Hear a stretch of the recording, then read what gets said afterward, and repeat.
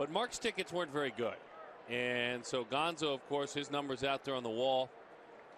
As that one is into right center field toward that wall. Down. Oh, he's going to run for a while. Henry, come on down. Right behind him, Willie Bloomquist. A triple. Somebody get Henry Blanco some oxygen. It's three to nothing.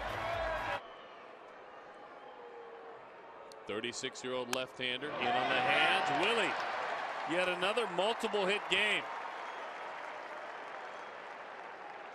Golly, eight game hitting streak, 16 hits in those eight games.